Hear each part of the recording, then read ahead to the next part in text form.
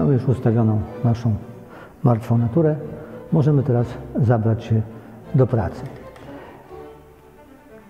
Najlepszym sposobem jest zacząć od ołówka. Ja y, zawsze proponuję i też uważam, że jest to sprawdzona metoda. Y, ołówki miękkie, czyli powiedzmy sobie 5B, 6B i wyżej.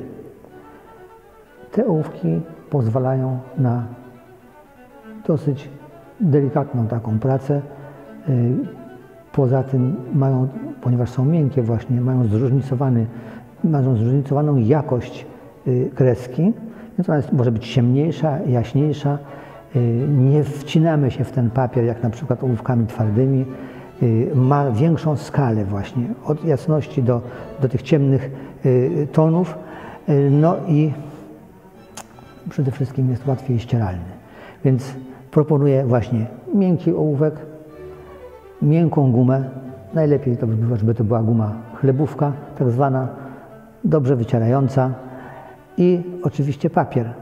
Papier też, żeby był odpowiedni, czyli jak najbardziej szorstki.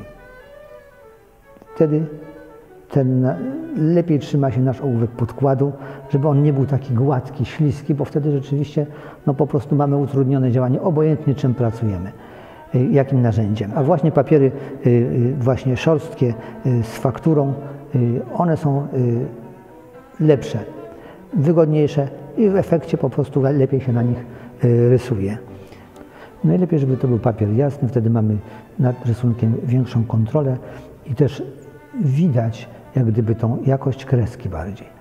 E, Oczywiście przy dużej już sprawności rysunkowej możemy sobie pozwolić na papiery y, barwne, y, jaśniejsze lub ciemniejsze. Te już były też od dawna przez malarzy stosowane. Czasem nawet sami sobie te papiery przygotowywali, jak gdyby barwiąc je odpowiednio i po prostu, jak powiedziałem, my zaczynamy od tych sytuacji najprostszych, więc biały papier, jasny papier y, z fakturą i możemy przystąpić do pracy. Jeżeli mamy taką możliwość, to ustawiamy sobie sztalugę. Najlepsza jest taka sztaluga stacjonarna, y,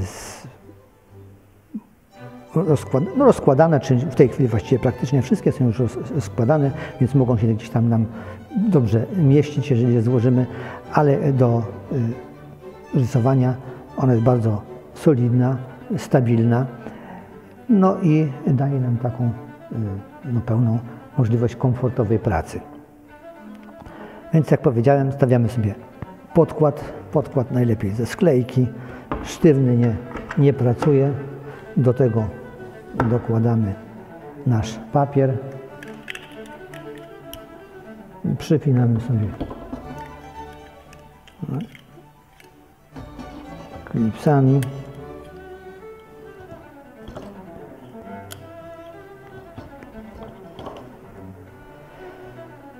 No, musimy sobie ustawić to w pewnej odległości od, od martwej natury, żebyśmy widzieli całość, żebyśmy mogli mieć tą przestrzeń taką właśnie do, do pracy i swobodę ruchu. Ja też uważam, że najlepszym sposobem jest rysowanie e, na stojąco.